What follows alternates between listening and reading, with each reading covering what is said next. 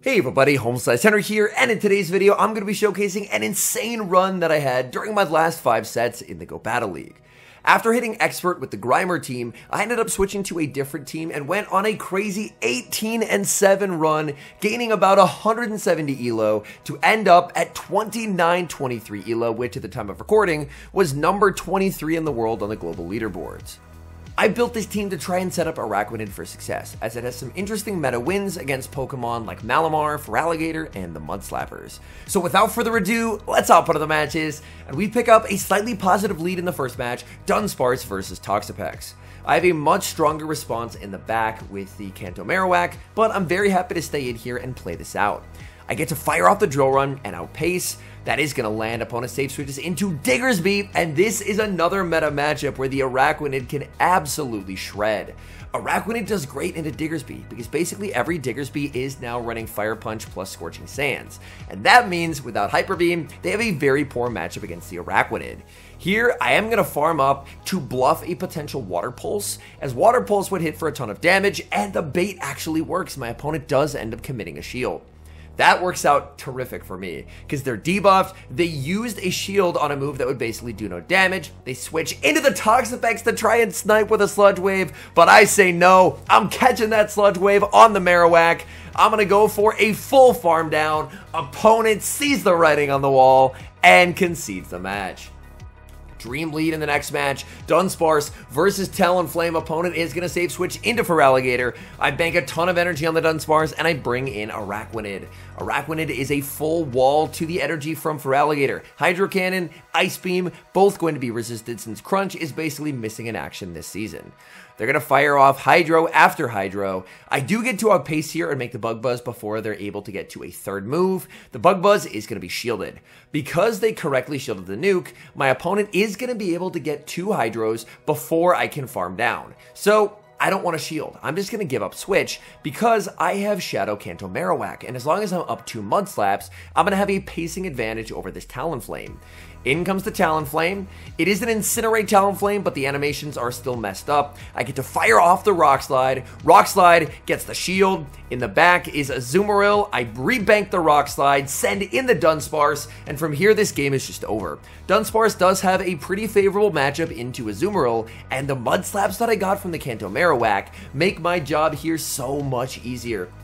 They go for the play rough, and judging off that damage, I can survive the next few bubbles and another play rough, so there's just no way for my opponent to win this game at this point. The drill run is going to land, it's charge attack priority, I know that I can survive this, and then I'm just going to throw the rock slide. Because even if they switch, which they do, the rock slide covers for that outcome. So they switch into the Talonflame, rock slide KOs, I can combo play with the Shadow Kanto Marowak. Bone Club will be enough to knock out the Azumarill, and we're able to take that win.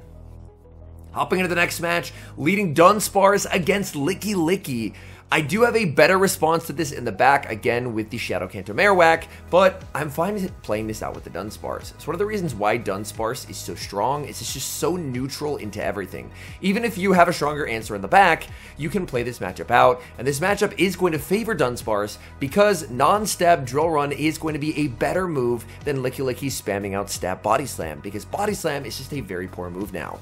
So I get to fire off Drill Run after Drill Run in this matchup, and I'm very happy no shielding. My opponent will go for the body slam. I'm going to go for a rock slide, covering for a potential switch out and a catch. So I do cover for that. They don't end up switching, however. They're going to bring in a non-shadow Kanto Marowak. That's a bit unfortunate because if they had the shadow, they would probably be running it. I land the drill run, and I'm going to pivot out into my own Kanto Marowak. I'm going to farm up quite a bit of energy. Opponent is at over two bone clubs here, which makes this a little awkward. I can't really wait a turn because if they throw, then I just miss a mud slap. So I farm all the way up to two and I win charge attack priority. That's a little bit of good luck for me. Now I have a choice to make. Do I decide to shield? I say yes. I'm just going to go for the shield and the farm down, exit with energy, because this energy can hopefully be threatening versus whatever's in the back, and it's going to be a Toxapex in the back, so this is a terrible matchup for my Araquanid, but I still have the Shadow Kanto Marowak, grabbing the final shield with a Bone Club, getting to a Bone Club number two, and that's just too much health missing from this Toxapex, and Toxapex cannot win this endgame. Sludge Wave will do a decent amount of damage, but I'm not even in the yellow health yet and I'm gonna be evil. I'm going for the Bubble Beam. Bubble Beam means a guaranteed win for me because now there's no hope for my opponent to ever go for a Sludge Wave and a Farm Down because they just don't have the damage output anymore. Araquanid was already bulky. Adding that, its ability to debuff, and this thing is really annoying to play against. I get to make it to the Bug Buzz. It may be resisted, but it will not matter. Bug Buzz KOs, and we're able to take the win. Upping into the next match, Dunsparce versus Shadow Dragonair. This is typically not a great lead for the Dunsparce. I think that I'd rather be the Dragonair in this moment. Here, I overfarm to avoid a catch. They catch onto a Skarmory. What season is this? Why is there a Skarmory here? Oh no. Oh my goodness, I'm so weak to Skarmory in the back. This is not great for me. Skarmory farming up a ton of energy. To be honest, I'm not entirely sure what the new Skarmory counts are, because obviously Sky Attack was nerfed. I know Steelwing was nerfed as well, but I believe it was the damage on Steelwing that was nerfed rather than the energy. But I'm just to bring in the Marowak. I get the farm down. They don't get another move, which is great for me. And now, what are they going to be sending in here? Will it be the Dragonair? Yes, Dragonair did have a bunch of stored energy, and they're going to fire it off here. I'm going to shield the Aqua Tail. I know that if I want to, I can double shield and farm down, but I don't want to give up my final shield without getting their shield first. They will use a shield, and now I'm very happy to give up mine because I can Mud Slap farm down from here. So I should hopefully be in a pretty decent spot. In the back, it is Cresselia, and that is a pretty nice spot for Araquanid to be in. Cresselia, Moonblast, Grass Knot, not going to do a lot. They're actually running Future but Future not going to do a ton either. Here, this is a bit of an uncomfortable situation. I'm intentionally going for a Bubble Beam. Whether it's shielded or not, I should be in an okay spot. The no shield makes sense because my opponent, their win con is for me to KO their Cresselia quickly, get a bunch of farm on the Dragonair, and be able to make a move versus my Marowak. But since I stalled the clock with a Bubble Beam and then through the Bug Buzz, I can switch instantly. They don't get the energy lead, I farm down, and I'm able to take the win. Hopping into the next match, Dunsparce versus Mandibuzz. This is a very good lead for the Dunsparce. Opponent is going to save switch into a Shadow Drapion, and in comes the Shadow Kanto Marowak. Opponent overforms quite a bit, so I get to force the first shield of the match. One nice thing is I live any one move. Shadow Kanto Marowak does have some pretty decent bulk, so I can let this go. It is going to be the crunch. They get the defense drop, and I will commit a shield. The defense drop does mean that they're going to get less snarl damage on the Mandibuzz as they farm me down, which is nice, but they're actually running Air Slash. People do run some weird Pokemon and weird move sets towards the top of leaderboards, and Air Slash Mandibuzz definitely qualifies. I'm just going to bring right back in with that Dunsparce. I was worried about a catch, so I'm just going to get as much energy as I can with this Dunsparce.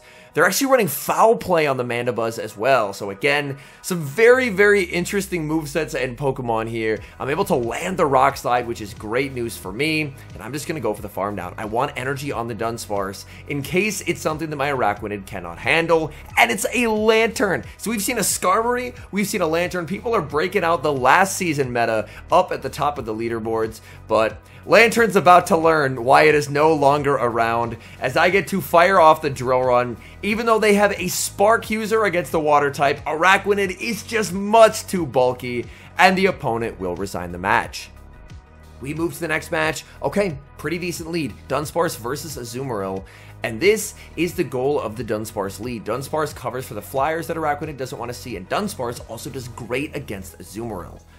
The thought process behind the Shadow Kanto Marowak was as a safe switch, it can potentially lure out flyers, try and fight back with Rock Slide, although its pacing to Rock Slide isn't the greatest, and Rock Slide isn't the greatest move ever either, or potentially bait out an Azumarill, because Flying types and Azumarill, not things that Araquanid are a big fan of. Here, if I have a better Dunsparce, I can live this, but I don't have a good Dunsparce, so I'm just forced to bring in the Araquanid. That is a little uncomfortable for me. I'm just gonna tank this and go for a full farm down, because I can get a ton of energy on the Araquanid. Play rough, not gonna do a lot. Opponent pivots out here into the Drapion, and I should have thrown this Bug Buzz instantly. Giving them an energy advantage is gonna put me in a bit of a tricky spot. I'm going to farm up, switch and catch. We get the prediction right, catching the crunch onto the Kanto Marowak. Due to the defense drop, they don't get another move, and I won't find out what they had in the back as they do end up resigning. We've got a massive core breaker on the lead in the next match, and its name is Quagsire. Shadow Quagsire, another Pokemon with Mudshot getting reworked. We don't see as commonly, but it does prove to be a pretty decent core breaker because it's very good at shutting down Pokemon like Dunsparce. Dunsparce can win the zeros, but typically Quagsire is just going to use a Protect Shield, massively overfarm, and just exit with a lot of energy. And that energy will be very threatening. So here, now, look at this perfect overfarm. They get so much energy, they have the Stone Edge to knock out here, but I'm in a bit of a tricky position. Do I bring in the Araquanid or do I bring in the Marowak? I'm to bring in the Marowak and say that I can farm down. But this is when I found out that I am not too up to date with the new Quagsire counts, as Quagsire is actually able to get another move. So my mental math on the Quagsire counts, at least with the post Mudshot rework was not accurate. They bring in a Azumarill, and this is just looking like a loss. They're ABA water. Oh my goodness. If they saw Serperior, the game's just instantly over. They have a Toxapex in the back. Yeah, unfortunately, I can't win that game, so I will concede the match. We move to the next match, very positive lead. Dunsparce Shadow Jumpluff. Jumpluff is going to throw one Fairy Wind save switch into the Kanto Marowak. Here, the correct play is to go into the Araquanid. However, I'm worried about a Gastrodon in the back. I've seen a lot of double mudslap teams where Kanto Marowak is the pivot to try and lure out something so Gastrodon can sweep. And I know that if I get a Araquanid on Gastrodon, the game is just over. So instead, I chip with the Drill Run, I bring in my own Marowak, and I go for a full farm down. Now when they bring in the Shadow Jump, Jumpluff, Rock Slide is to hurt. Shadow on Shadow, Rock Slide is a ton of damage. My opponent will actually use the shield. The uncomfortable thing for me is they're to get a ton of farm, and Jumpluff's energy can actually be extremely threatening to the Dunsparce. Look at all that farm I just gave up. That is really not ideal. I bring in the Dunsparce, but I already took Mud Slaps earlier from their Kanto Marowak. Energy Ball connects, and now I'm suddenly in trouble. I'm expecting that after this aerial ace, they're to snipe with the Mud Slapper, so I aggressively switch, and they didn't bring it in. Oh, this is not good. This is not good. I will commit the shield. They will get another aerial ace, but I can get a bubble beam first, so I'm going to fire off the bubble beam. This will apply a debuff. If they want to save energy, they're going to have to switch out. They bank the move in the back. It's Feraligatr. So this is not the Pokemon that I was expecting, but it's still a great matchup for the Araquanid. They go for the Hydro Cannon. Araquanid simply does not care, and I will fire off the Bug Buzz. I'm still outside of aerial ace range, but not by much. I'm going to farm up, switch, it's a simul KO, and with a Araquanid in the back, I take the win. These final two games are clipped from my stream, so the quality of the clip, you may notice, is quite a bit lower, but these games were incredible, so I did want to include them regardless if the quality is a bit degraded. So we have a Dunsparce mirror, and considering I have a Araquanid in the back, very happy to see the Dunsparce here. We are going to trade drill runs. My opponent not throwing when I throw, so whoever wins charge attack priority, still very much not known. My opponent is going to bring in Feraligatr. I'm going to bank quite a bit of energy on the Dunsparce and bring in Araquanid. Araquanid is going to do great into the Feraligatr. Giving them an energy lead is not something that I'm too worried about personally, just due to the fact that I can absorb these Hydro Cannons and still make the Bug Buzz as long as I switch in a decent amount of time. So I'm going to farm up, fire off the Bug Buzz right before they get their move. Bug Buzz is going to pick up the knockout. Opponent is going to bring in the Dunsparce. Dunsparce firing off energy. And now I just get to bring in the Shadow Kanto Marowak and look for the farm down. So things are feeling pretty good for me, but I still don't know what their third Pokemon is. So I'm going to bring in the Marowak and disaster strikes. Oh no, it's Serperior, and I think I have lost. My opponent baited out the bug type, and Serperior completely destroys Dunsparce, and it destroys Kanto Marowak. This game looks doomed. I commit the shield. It's going to be a frenzy plant, and this is not looking good whatsoever. I'm now approaching a range where they can even go for an aerial ace. My opponent does not throw. They're looking to maximize on energy. They'll either do one Vine Whip in the move or four. I throw two, wait the turn, catch and sneak, and now maybe there's a chance. We catch the aerial ace. They're gonna make it to the frenzy plant. I will use the shield. Dunsparce does have energy for my opponent. Serperior is gonna defer the mud slap onto the Dunsparce, and Dunsparce will go for the drill run. But drill run won't KO. I can survive it. I have the back to back bone clubs loaded. And I can live the fast move that sneaks through. But I didn't see one sneak through. They shouldn't have a move yet. It looks like they did actually get denied, which is really unfortunate to see. The good news is that I would have lived the Vine Whip that snuck anyway, but man, that's really not what you want to see. And hopping into the final match, going up against the 2023 Pokemon Go World Champion, it's Axen. And I pick up a terrible lead Dunsparce into Malamar. I save switch into the Shadow Kanto Marowak, and I no shield because most Malamars are paired with Azumarill. But that is not an Azumarill. That is going to be a Diggersby. My opponent already so weak to my Araquanid. But unfortunately, I haven't been able to align the Araquanid onto either of those two Pokemon. I fire off the Bone Club. That's going to be no shielded. Can I get another one? I cannot. The quick attack damage registers, and I don't get the move. That's really, really rough. This Diggersby has so much energy. I just have to absorb this energy on the Dunsparce. I'm not going to get a lot of value out of Dunsparce versus the Malamar. I just have to two shield Araquanid and hope. I'm going to throw three in the move. My opponent gets the Fire Punch. That's not going to knock out, and I just have to get ahead on energy with Araquanid. In comes Araquanid in the back. Is Alligator! Oh my goodness. We lost lead and we lost swap, but in this end game, my opponent is core broken by the Araquanid. I'm going to shield up the first move. I build up to the Bug Buzz and I bait. This is a risky bait, but I have to preserve health and it pays off. I do get the shield. That is incredibly important. And now I can survive two more Hydro Cannons very comfortably and I have to try and commit to a farm down. My opponent tries to go for charge attack priority there. Hydro Cannon to the Bug Buzz, but I'm not going to fall for it. I need to get this farm down. I need this energy for the Malamar opponent. Do they send in the Malamar? Yes. And I'm going to bait. After they see the bait, if they shield this, they're going to try and catch. So I blind switch into the Dunsparce, predicting their switch out, and I get it right. Drill Run KOs the Diggersby. In comes the Malamar. Can I make it to the Bug Buzz? And the answer is yes. 1 HP on the Araquanid. We hang on to KO with the Bug Buzz and win a game that felt doomed pretty much throughout the entirety of the match. All in all, I had a lot of fun with this team. I do think Araquanid has some pretty solid play into the current meta. I do think this team's success was a bit of a flash in the pan, if you will, or for the sports fans watching, a Linsanity run, where honestly, I didn't put a tremendous amount of thought into the team. I just wanted to run Araquanid, and I even, the first three sets that I did were live on stream, and I asked my chat, what should I lead? This is what I need to cover, and they said, oh, just use Dunsparce.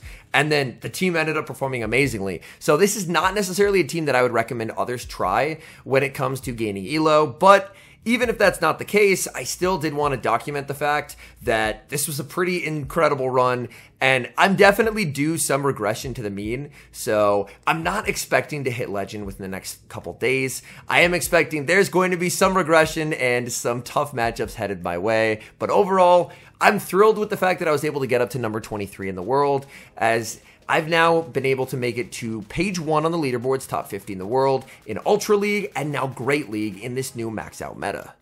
Anyways, thank you guys so much for watching. If you're enjoying the content, make sure to leave a like and subscribe to the channel if you haven't. And a special thank you as always to our members here on YouTube. The support guys provide is sincerely appreciated. So thank you guys oh so very much. And until next time, I've been Home Slice Henry.